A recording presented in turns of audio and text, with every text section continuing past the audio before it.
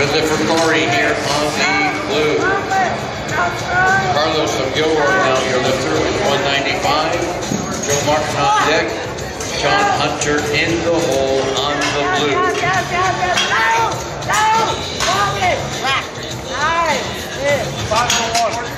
A good lift for Al Morin.